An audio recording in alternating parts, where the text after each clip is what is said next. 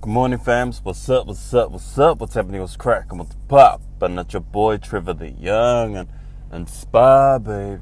Trevor the Young and Spa. Yeah, yeah, man. I look uh, wasted, but yeah, I'm on my way to um, course today. Uh, it's like a block course for tradies, but for careers, um, career drivers, and yeah, and I think it's like all about how to become a contractor and run your own um, runs and all that. You know, and I want to prosper in this life, so I'm willing to do it. I think my brother's gonna um, do it too after me. Um, we're gonna be becoming our own contractors real soon. You know, and I thank God, man.